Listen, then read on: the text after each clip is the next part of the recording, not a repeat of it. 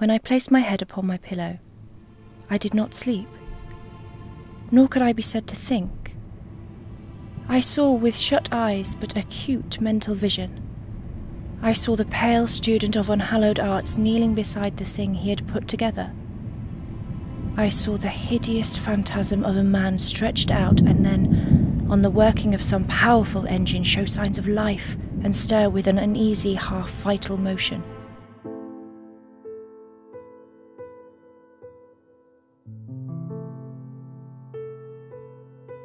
A short sleeved linen chemise was worn next to the skin to protect the outer garments from sweat. Knitted stockings in wool, linen, or silk were worn pulled up over the knee.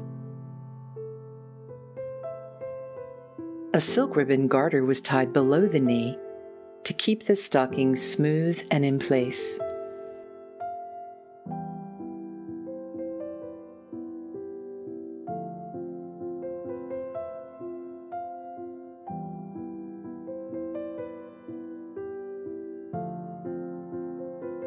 A new type of undergarment called a pair of pantalettes was worn. This comprised two separate tubular legs connected by a drawstring at the waist. Not every woman wore them, and not all the time either, just when an extra layer was required for modesty or warmth.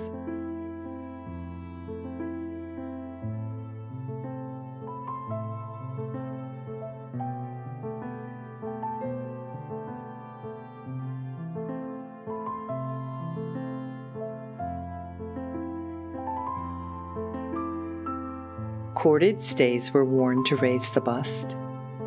This was a transitional garment, and as such, corded stays varied in length, style of fastening, materials, and decoration, but they were functional, comfortable, and often very pretty.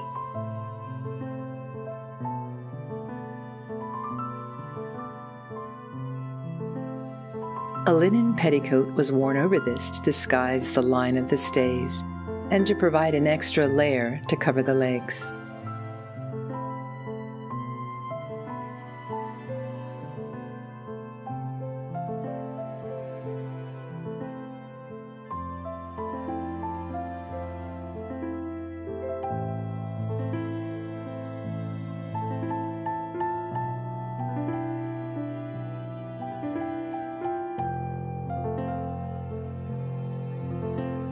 Gowns were high waisted and could have either front or back fastening. They were occasionally buttoned, but mostly they were closed by a couple of hooks and eyes, and a drawstring at the neck and waist to pull the gown in to fit. Indian muslin fabrics in simple block print patterns were fashionable, as were English cottons with their more complicated roller print designs.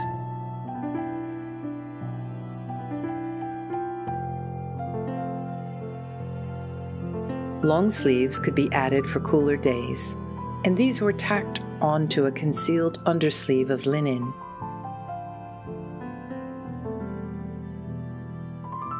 Flat leather pumps, often with crisscross lacings, were worn. A stole could be added for warmth or to add a contrasting color to an outfit. In the summer of 1816, Mary Godwin and Percy Shelley joined Lord Byron and other friends at Villa Diodati on the shores of Lake Geneva. Thunderstorms and torrential rain forced guests to remain inside the villa. The unseasonal weather had been caused by a volcanic eruption in Indonesia, which had sent ash billowing into the atmosphere, blocking the sun. One candlelit evening around the log fire, Byron challenged the company to write a ghost story. As thunderstorms rolled around the mountains and lightning flashed constantly across the lake, the party sat discussing their ideas until late into the night. Mary was quiet, observing rather than participating in the discussion. That night she was plagued with nightmares and slept but little. I could not so easily get rid of my hideous phantom. Still, it haunted me. I must try to think of something else. I recurred to my ghost story, my tiresome, unlucky ghost story. If I could only contrive one which would frighten my reader as I myself had been frightened that night. Swift as light and as cheering was the idea that broke upon me. I have found it. What terrified me will terrify others, and I need only describe the spectre which had haunted me my midnight pillow. On the morrow, I announced that I had thought of a story. I began that day with the words, It was on a dreary night of November, making only a transcript of the grim terrors of my waking dream. It was on a dreary night of November that I beheld the accomplishment of my toils, with an anxiety that almost amounted to agony. I collected the instruments of life around me that I might infuse a spark of being into the lifeless thing that lay at my feet. It was already one in the morning. The rain pattered dismally against the panes, and my candle was nearly burnt out, when by the glimmer of the half extinguished light I saw the dull yellow eye of the creature open. It breathed hard, and a convulsive motion agitated its limbs. How can I describe my emotions at this catastrophe? Or how delineate the wretch whom with such infinite pains and care I had endeavoured to form. His limbs were in proportion, and I had selected his features as beautiful. Beautiful, good God! His yellow skin scarcely covered the work. Mary Godwin was not yet 20 years old. Her brilliant mother, Mary Wollstonecraft, had died giving birth to her.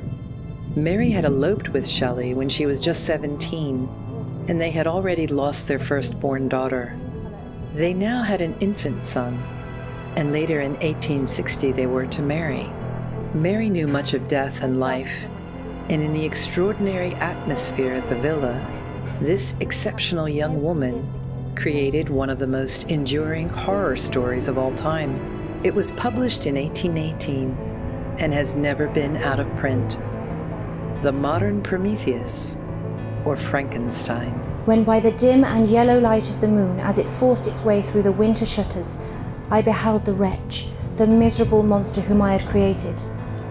He held up the curtain of the bed, and his eyes, if eyes they may be called, were fixed on me. His jaws opened, and he muttered some inarticulate sounds. While a grin wrinkled his cheeks, he might have spoken, but I did not hear.